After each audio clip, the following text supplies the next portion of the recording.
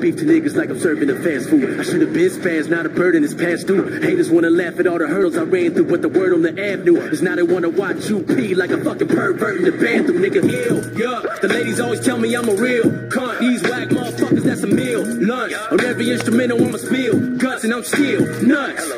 Like Robocop scrotum, I'm giving niggas hell, but I really hope I'm not gone. And if I do, I'm pulling out with is my corn While the man above is watching with his coke and popcorn. But I guess I'm a villain. Labeled as strange. Labeled a clown. Labeled deranged. Labeled as someone you might put to shame. Labeled a freak who's unable to change. I'm sick in the head, but sick with the grind.